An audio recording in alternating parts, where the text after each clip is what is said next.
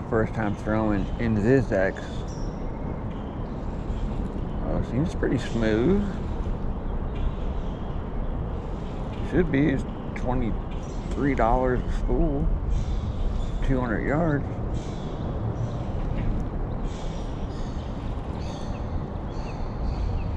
Uh, in my experience, something gets weird around that ten pound test uh, deal with fluorocarbon. I don't know what it is. You better just spend the money. Look at all that bait. Look at all that bait in water. Wow.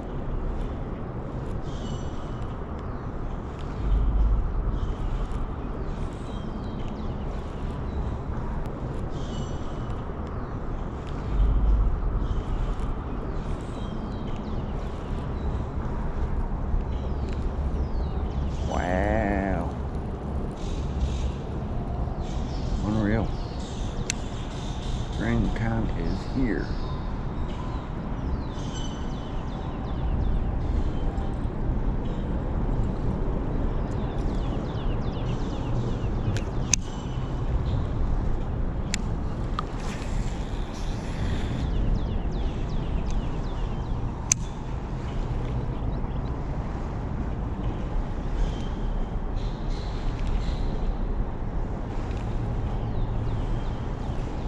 Wow, we got some fish eating too. Breakfast time.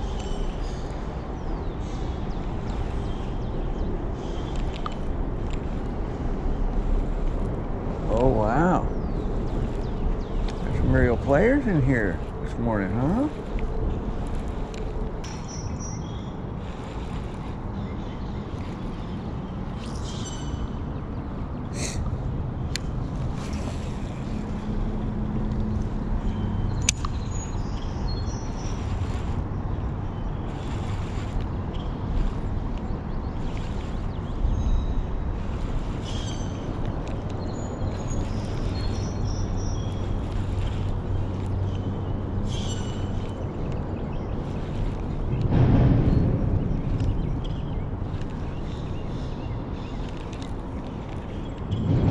Oh.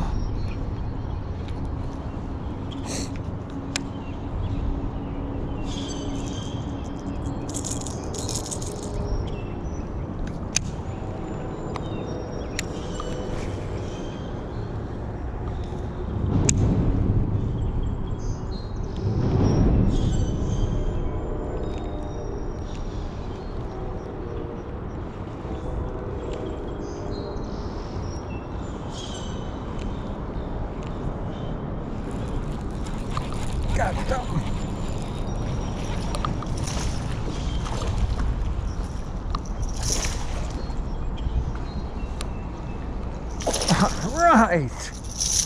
My goodness, look at you, dude. You were up here pigging out, bro. Look at that hefty dude. That is a nice red-eyed bass right there, you guys.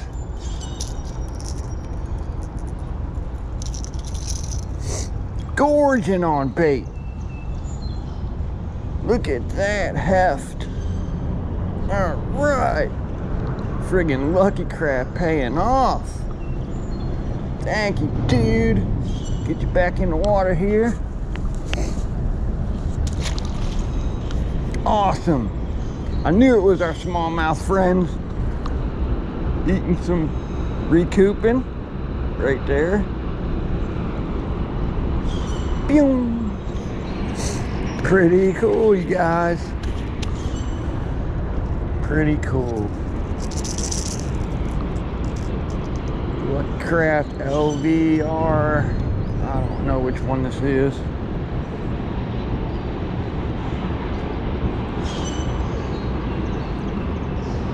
Quarter two.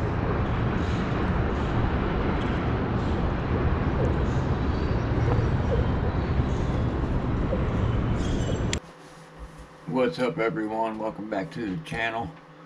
Um, as you can see it's springtime and we got active fish feeding on balls of bait or shoals or whatever you want to call it.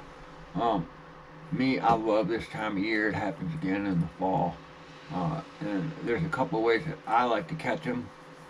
When you got fish coming from underneath and pinning bait between themselves and the surface, like as you can see in the footage.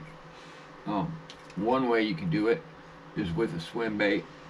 Uh, this is a 5 inch Keitech on a Berkley Fusion 19 swim bait head. But the thing is, is that you're going to have to be able to pull those fish away from a huge ball of actual food towards your bait, right? Sometimes a single swim bait won't do it. So what I could recommend is adding an underspin. Uh, this is the owner, Flashy Swimmer, and these are the Colorado blade. Uh, just gives off a little more flash. And another thing I would do in that situation is if you have the screw lock, just push the hook up a little bit so it's exposed. You're fishing open water, you're not going to get hung up on anything. And you want a better hookup ratio and landing percentage. Uh, you can also use uh, Basstrix, hollow body, paddle tail are great in the spring. Well, that's a three inch and a thread fin shad. Another way I like to catch them is obviously with a jerk bait. This is a Vision 110 Silent. Uh, not the plus one, just a regular 110. It's only going to get down about four or five foot. And uh, uh, I don't know if I'm going to keep any of the jerkbait footage around or not. But uh, I don't even crank it down depth. I just, as soon as it hits the water, I just start working it. Because these fish are looking up to feed. They're not going to want, you know, you don't want to fish under them or else you're not going to get bit. And then finally, this morning's player was the Lucky Craft LVR this is a D7. But I mean, you could throw the 100 and burn it, kill it, burn it, kill it, or yo-yo it high in the water column. I think, yeah, the 300s are out. The 150 is back out. So, uh, a lipless is a great way to stay high in the water column and yo-yo and just erratic movements to look like a dying bait fish around those balls of bait when you have active fish in the area. Um, another thing too guys is that I wanted to do giveaways every month. And last month it was just weird as far as number one, the, the person that uh, won the rod in the YouTube random comment generator, I never I never was contacted by the that person. And Number two is I broke the rod. You can see now we have a six foot nine uh, Abu Garcia Vengeance that is probably now a, I don't know, a five eight or something. But yeah, I apologize guys. So what I want to do is for now, since without you guys, nothing, none of this is happening. I want to give you guys one of the hottest baits on the market. This is the OG Slim 6 designed by Ott DeFoe. This bait right here also has upgraded hooks. I put on number 4 Eagle Claw uh, Fletcher Shryock EWGs on it. I put them on all my hard baits. Uh, I use the number 4 and number 6s. But this bait is up for grabs and then I'm think after we pick the winner for this in a week um, it's going to be probably hashtag send me the reel. I'll probably be giving away my Daiwa Regal LT to somebody, uh, one of you guys out there, uh, awesome subscribers. So for now, just hashtag send me OG. I know I'm a little hard to understand, I'm still healing up, but hashtag send me OG. OG. And uh, I'll get this out to you. We will pick it a week from today, so next Saturday. And um, yeah, I, I don't know if you guys are going to be too far south for this going on, but pretty much this whole central band of the U.S. right now is going to have big balls of bait and active fish that are just coming off the spawn and just ready to eat, you know what I mean? So now is a good time to really be throwing a lipless anyway and covering water and uh, you know just uh, get after it and enjoy yourself, catch some fish. So without that being uh, anything else from me, um, hope you guys enjoyed the episode. Did something a little different here.